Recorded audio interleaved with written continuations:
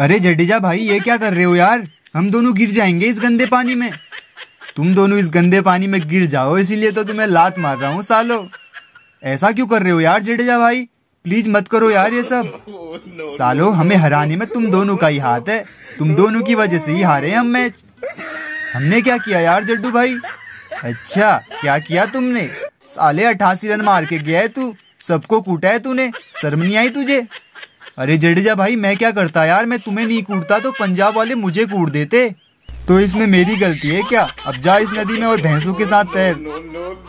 अरे जडेजा भाई मुझे तो उतार दो यार। मेरी कोई गलती नहीं है।